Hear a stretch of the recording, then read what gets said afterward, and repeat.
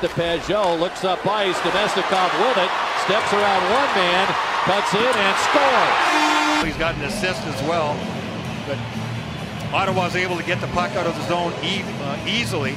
And then the distance and the gap between the forwards and the D of the Lightning. And Namestnikov is able to just thread his way through. Kucherov back there all by himself.